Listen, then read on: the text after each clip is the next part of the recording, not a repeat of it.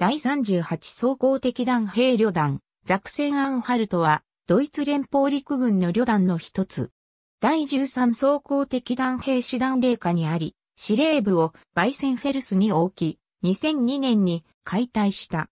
旅団の部隊はザクセンアンハルト州とチューリンゲン州に駐屯していた。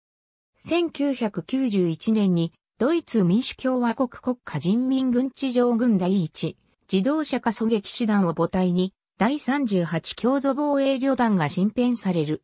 旅団の愛称にはザクセンアンハルトが与えられた。1991年内に旅団司令部がバイセンフェルスに移転される。1995年に第38装甲敵団兵旅団に改称された。1999年に旅団の一部はボスニア・ヘルツェゴビナでの平和安定化部隊に派遣される。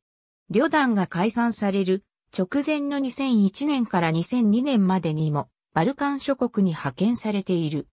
旅団の解散に伴い霊下部隊の第380装甲工兵中隊第381装甲敵弾兵大隊及び第385装甲工兵大隊が解体された。第383戦車大隊は第12装甲旅団に配填され、同大隊は2007年6月30日に解体している。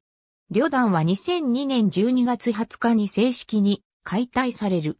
旅団の編成は以下の通りであった。他にも第381装甲敵弾兵大隊、第384戦車大隊及び第380野戦予備中隊のように半減益化していた部隊もあった。